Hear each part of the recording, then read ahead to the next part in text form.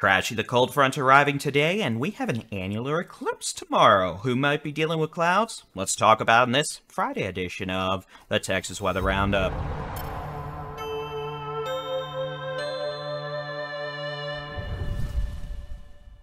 Good morning. It is Friday the 13th, October 2023. I'm Texas Storm Chasers Baldy in Chief David Reimer. It may be Friday the 13th, but we're not going to be dealing with any of that nonsense in the weather department over the next five days across Texas. Hardly a chance of rain with fall-like temperatures back in the state.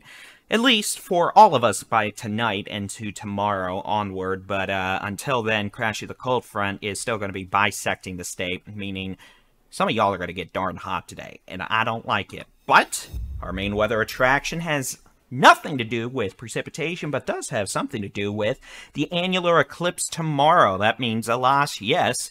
Uh, it'll be interesting to see what effect this has on our temperatures late tomorrow morning, early tomorrow afternoon, since Loss of sun equals less solar radiation, meaning it might actually get cooler for a while. That would be interesting to see, and we will because that's what weather stations are there to observe.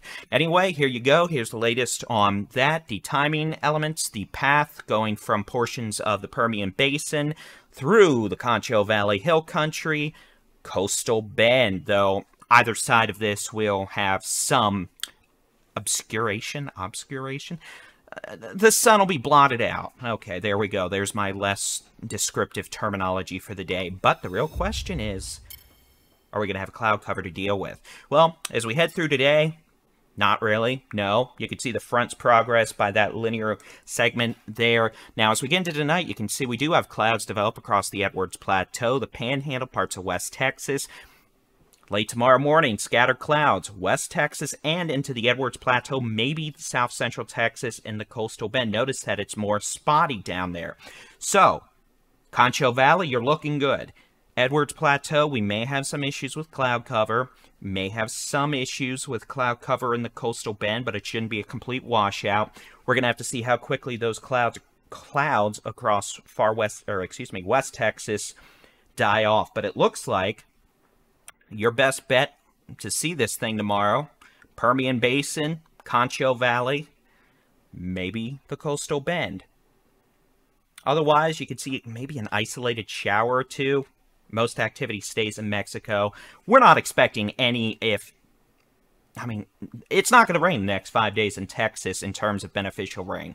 Next chance of rain, Wednesday, Thursday, Friday, maybe if we get lucky. Fire weather conditions from the Texas A&M Forest Service. Here's your wildfire danger the next several days. Generally speaking, moderate to high across the state. Some pockets of low, but that mostly goes away by Sunday.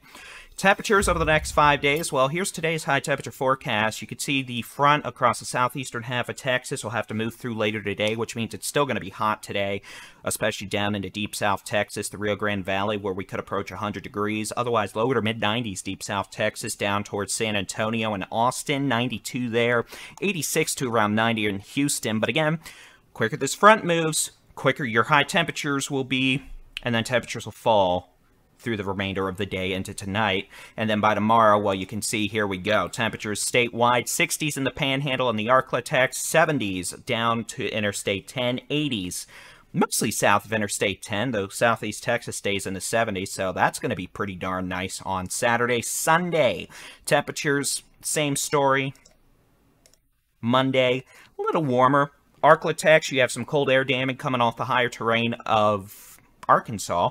Uh, 62 Monday for a high in Texarkana. Otherwise, 60s northeast Texas, 70s to low 80s across the remainder of the state, mid 80s across far west Texas, the borderland, down to Big Bend, and down the Rio Grande Valley. We start warming back up on Tuesday as we see more 80s return to the state of Texas ahead of what could be our next storm system as we get into Wednesday, Thursday, and Friday of next week. But again, if you have a chance, I hope you do, enjoy tomorrow's annular eclipse.